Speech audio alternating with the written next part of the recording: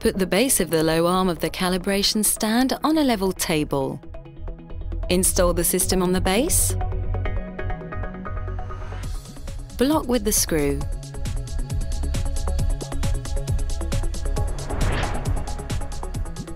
Install the aluminium cup in the hole of the low arm with the ball bearing. Install the pulley on the pin of the low arm.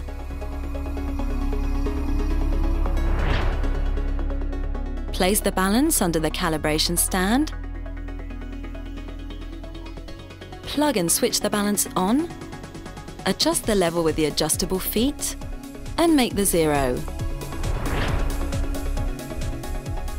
Place the tare at the middle of the balance and make the zero again.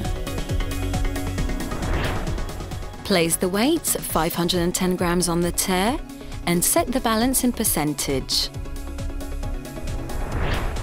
Make the 100% on the 510 grams. Make the zero in percentage. Hook the nylon thread on the pin of the tare and get it over the pulley. Adjust the height of the whole calibration set in order to place the middle of the pulley at approximately 8 cm from the plate of the balance. Verify that the nylon thread is correctly in line.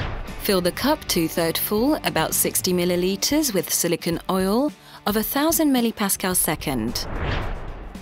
Install the viscometer on the arm of the calibration stand and block with the screws.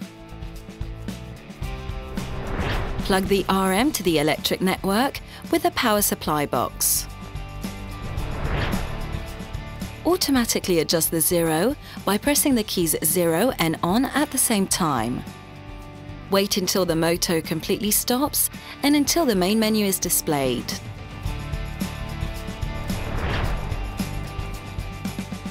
Adjust the bob on the coupling of the viscometer. Take the cup down until the bob is completely immersed in the oil. Control the torque for temperature between 20 and 23 degrees Celsius. Select Manual and confirm with E. Choose the measuring system 1 2 with the upper arrow, then confirm with E. Choose shear rate 21.2 second minus 1. Choose measuring time 0 and confirm with E. Note the torque indicated by the scale as theoretical value. Note the torque measured by the Rheomat as before adjustment value. Repeat the operation for the following speed and torques. 10.6 second minus 1, 70.8 second minus 1, 106 second minus 1, 141 second minus 1, 212 second minus 1. If those values are identical to the theoretical values, plus or minus 1, report it on the after adjustment table. If not, make the following calibration procedure. Switch the viscometer off, then switch it on again by pressing the keys E and ON at the same time. Saisir votre code is displayed. For viscometers, first RM and RM100, enter the following code upper arrow, back arrow, lower arrow, and E. For RM200 rheometer, enter 8,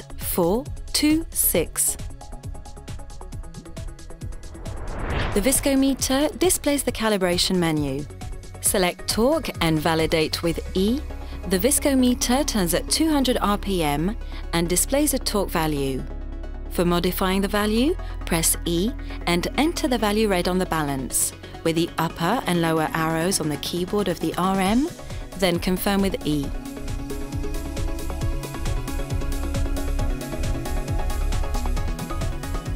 For the RM200, use the alphanumeric keyboard to enter this value.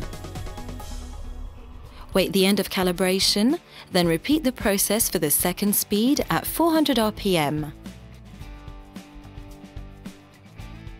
Enter the value entered for 200 RPM multiplied by 2, then wait the end of calibration of this second scale.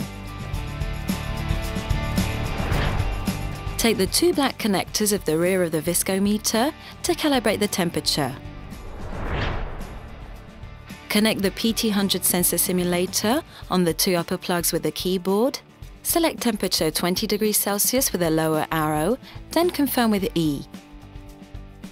A temperature is displayed on the viscometer. If this temperature is conformed to the selected temperature, quit this menu with the upper arrow. To modify the temperature, press E and enter the simulator's value 20 degrees Celsius with the arrows of the viscometer, then confirm with E or keyboard for RM200. Select the temperature 60 degrees Celsius, then confirm with E.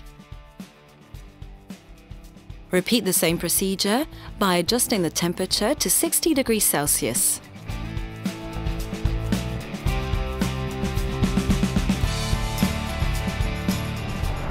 Disconnect the simulator and reconnect the two black connectors.